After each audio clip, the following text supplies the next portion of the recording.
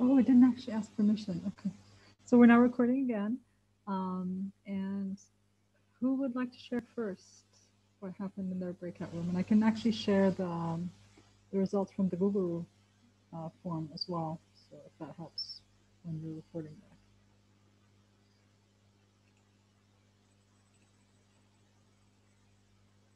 Someone want to say from breakout room one? I'll I'll share because we were talking about a project that um, I am doing in my class. So I'm a teacher educator. I teach literacy education courses, um, and um, I've been kind of playing around with open educational practices outside of a renewable assignment that I did for one of my classes. So in this class, um, I want my students to walk away with a handful of tools that they can use to assess their students, their younger students, K-12 students, literacy skills. Um, and so as part of the class, I set up a document, a Google Sheet. Um, and within the, the Google Sheet, they would all add in different literacy assessments that they read about, that they learned about, um, and classify them. Um, in lots of different ways, describe them, say who the assessments might be for. Um, and so, and then my idea is that each year, when this iteration of the class comes around, the students will um, add to it.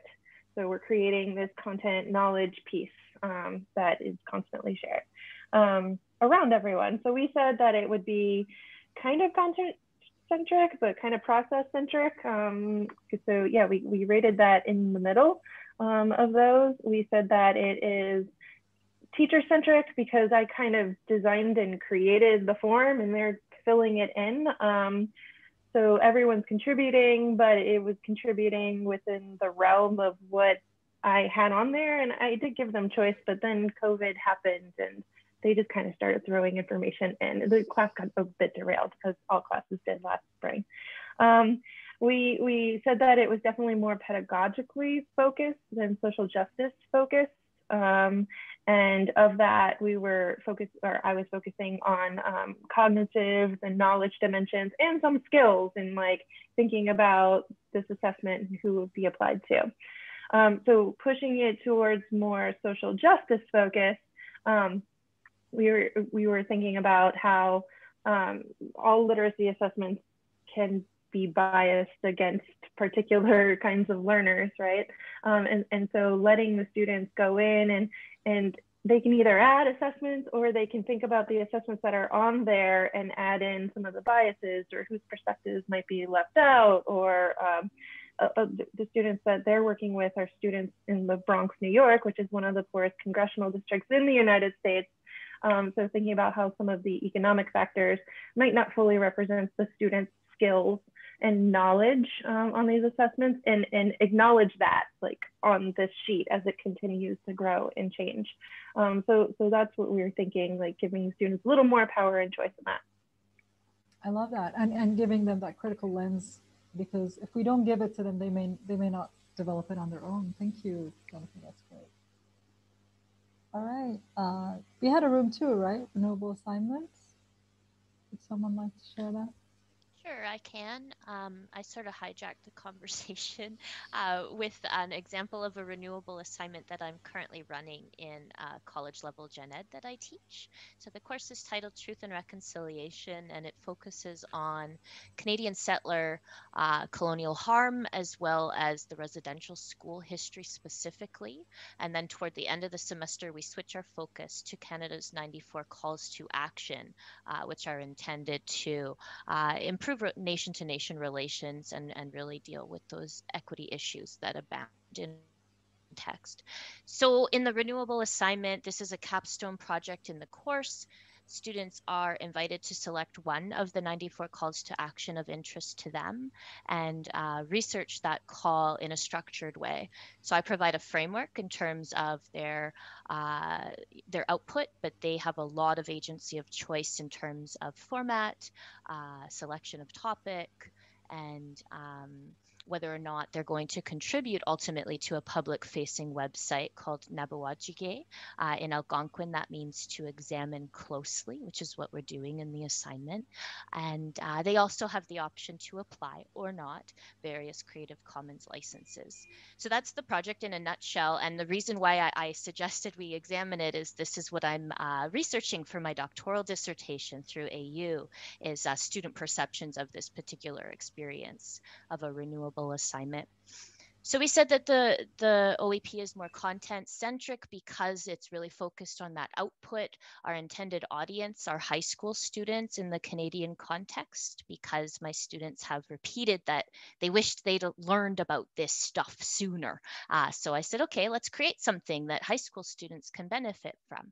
Uh, but there is process baked within the assignment. Uh, the group decided we were quite learner centric and that they have the agency. I, I tell them you're paddling this canoe now. Um, and actually, I just sent that announcement out today. That's where we're at in the semester. So they paddle the canoe, and I stand off on the shore supporting them as they go. Um, we said it was quite social justice focused. However, the nature of the assignment does allow for a lot of affect to come in, and I encourage it.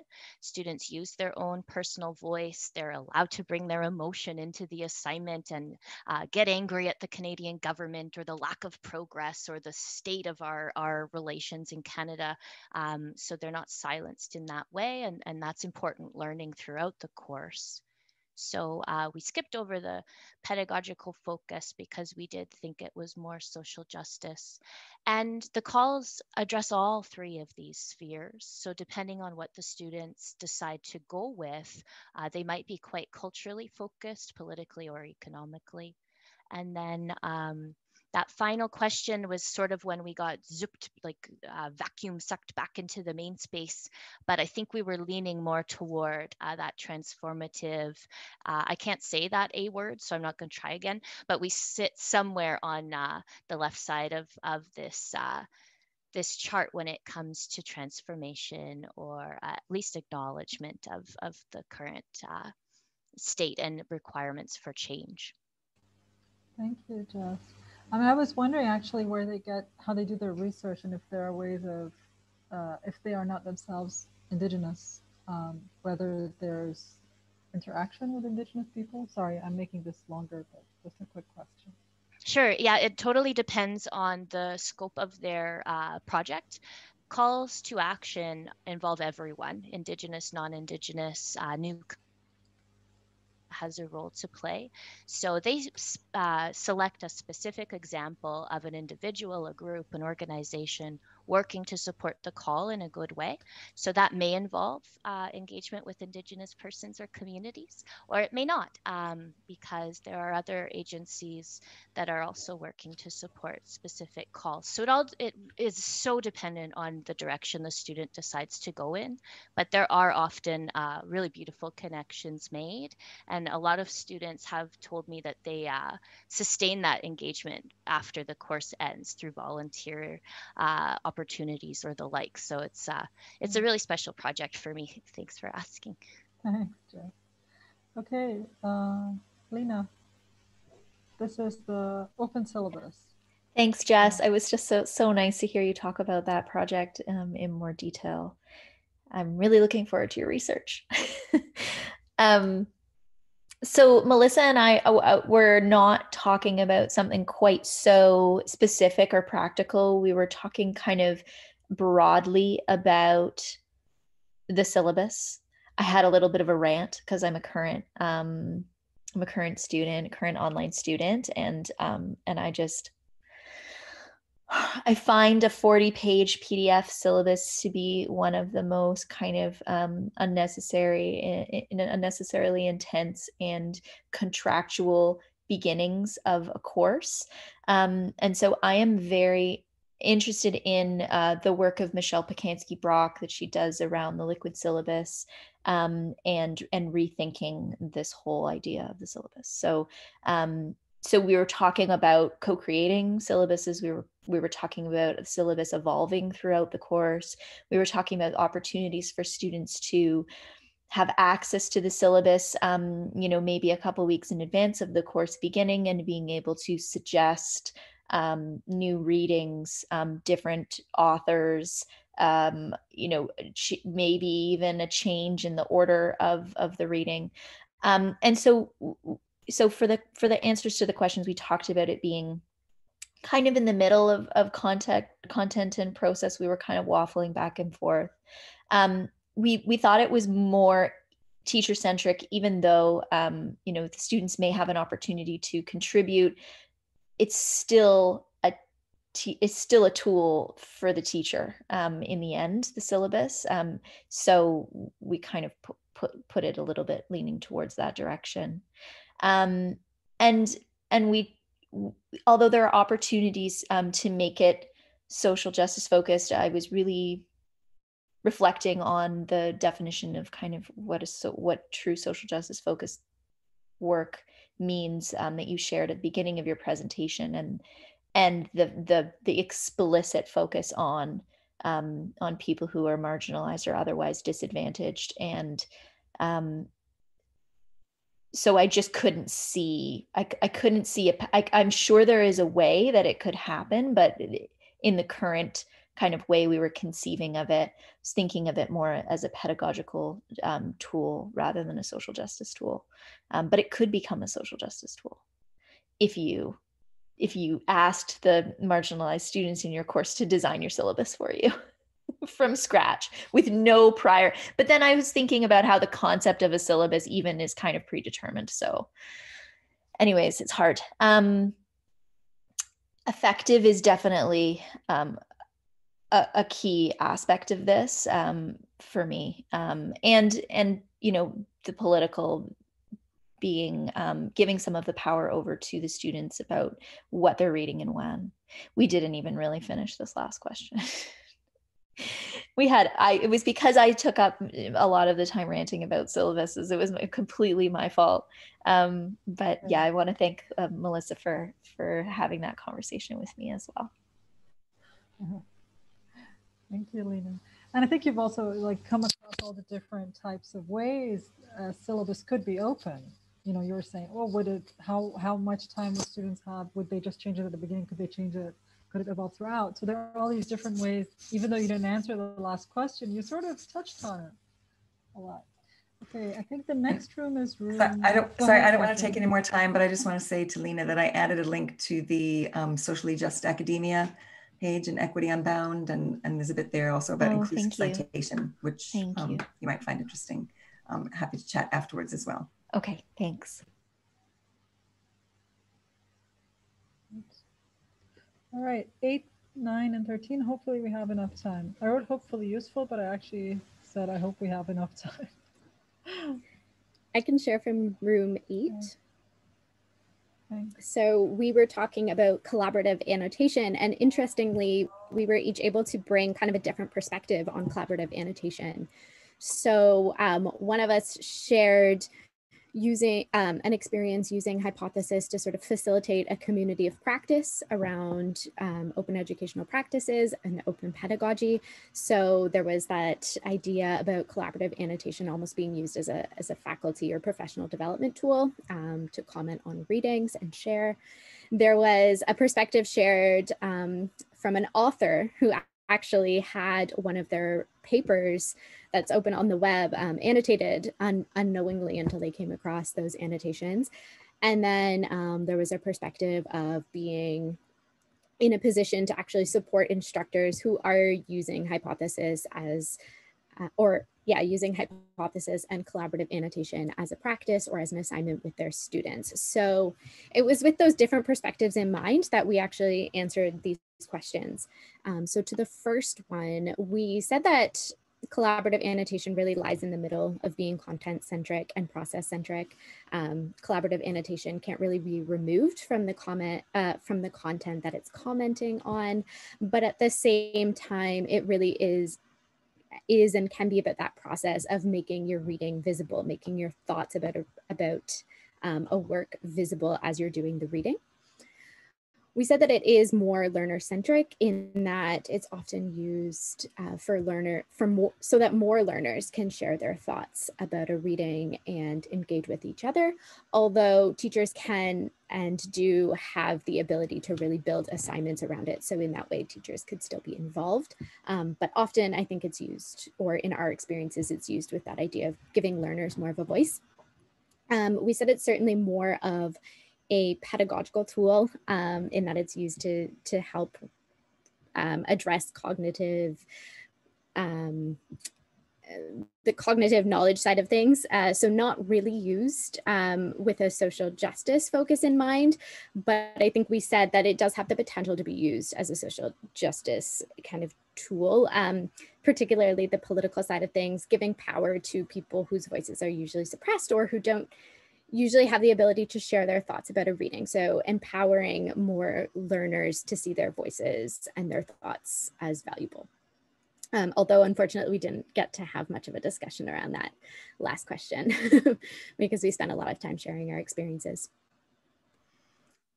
Okay, I mean, that sounds like you did quite a lot in 20 minutes anyway. Thanks, Emily. Um, uh, yeah, I mean, regardless of the the less field on the form, I mean, if you were ended up talking about power and politics, it sounds like it was a really valuable discussion. So um, thank you so much. The I think process the next, is more important than the document. Absolutely.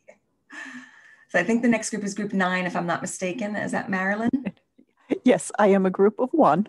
Thank and, you so much, Marilyn. no problem. I had um, chosen the topic of virtually connecting, and the way in which I had um, interpreted that was to bring students together from different places, to use the power of web conferencing to bring students um, to start talking amongst themselves, basically. And this was a result of an experience I had in a global citizenship class where we brought students from Eastern Europe together with our students here in Maine um, to have an exchange. Excuse me. And so, in looking at whether it's content or process. Excuse me. I thought, you know, one could balance this that it could go either way, and it depended on, um, you know, how much the students became involved, how um, in how much the instructor put it in print. So I use that as a, a kind of neutral response to that. As far as teacher centric or learner centric, um, I think this has the potential to be more learner centric, although if the instructor has a curriculum that they oftentimes can kind of have an input on whether, eh, you know, have some kind of input that it wouldn't be totally learner centric. Um, let's see, could we scroll down a little bit? Thank you.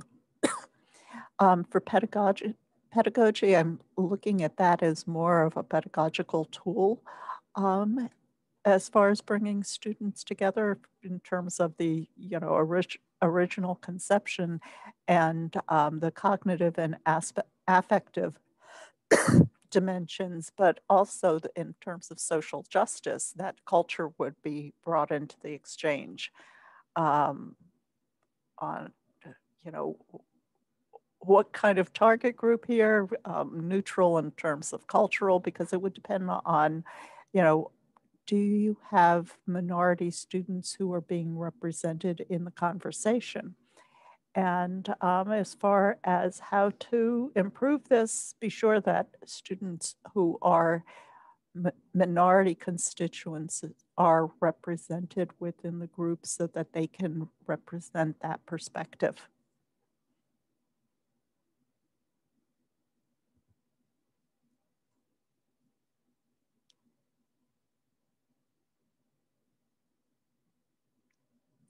So do we want to go to group 13? Yes, thank you so much. Sorry, I wasn't sure um, if I was on mic there. Yeah, I mean, we only have a couple of minutes left, but I think we have enough for a two minute share from our last group and then Maha and I will just wrap up really quickly. So thanks. And thanks for that, Marilyn. Um, who's sharing from 13? Interesting, Michelle's still here. I nominate Michelle. Michelle, do you accept? I accept, I suppose. Uh-huh. yeah. Uh-huh. Um, we didn't, can you hear me? Yep. Yes. Okay. Um, so we looked more about, um, I think, just the process of our spaces generally rather than one kind of focus. Um, and so I think we really talked about this idea that Rajiv had put forward, uh, you know, about architectures um, that help promote OEP. And we, things like, you know, all of our spaces, both physical and virtual are governed by kind of someone else's decisions. Um, there's roles, for example, how do you create, um, how do you create a welcoming space in either? So we talked a lot about how that configuration really can um, allow people to feel like their voices can be heard. How can you create a participation, an architecture of participation where multiple voices actually can be shared? Um, so we really, when we talked through the the form didn't really fit us that well. It could be content focused, but it also could be process centric. So it really just depended. Um, it could be teacher centric um, or it could be learner centric OEP. So I think it just depends on what you want to do. Um, and then um, again, we thought it could be socially just. So depending on how we design our spaces, can you have, can you create a space where marginalized voices um, can really contribute in a meaningful way in that in that virtual or physical space. Um, so we thought it could address all the different um, aspects. And, um, you know, I think just generally, we talked about the fact that we don't talk about space that much in relation to practice. And it really dictates everything we can do and how we welcome um, the kinds of participation that we, we want. So hopefully that hopefully just that, that uh, captured everything we talked about. That's very powerful. Thank you so much. And uh, yeah, it links to what Jess you shared before, but that's um, much bigger. So thank you, thank you for sharing that. I, I knew we we would learn a great deal from you all sharing today. Um, will I just keep finishing, Maha? Are you no, you have noise in the background there? Are you okay? Have kind of noise. Yeah, I'll just post the link to the sheet. Okay. So folks can have. Oh yeah, you should. Can you share your screen, or do you want me to share? Would that help if I shared my screen? I can. Uh, I don't know if I can share. Sorry. Let me let me share for you. Okay.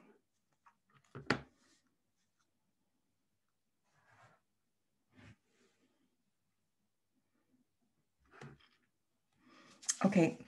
Um, I'm sorry that we we ran into this sudden wall of five o'clock. I know there are there are other things happening in people's lives, so we just wanted to say a sincere thank you, and I hope that um, with many of you that we can continue the conversations and share um, what we're doing.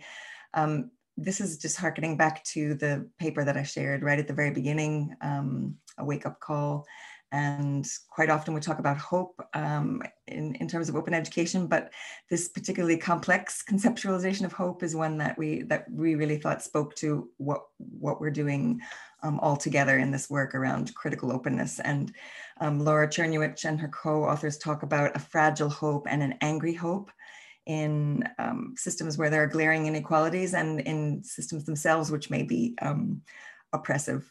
So um, this final quote, we just wanted to leave with you about that hope is critical because we keep calling out systemic injustices, but hope is also insistent because it is impossible to give up as long as possibilities exist for equity-oriented change. So thank you all for bringing it today, and uh, we look forward to connecting with you all in the future. Thank you.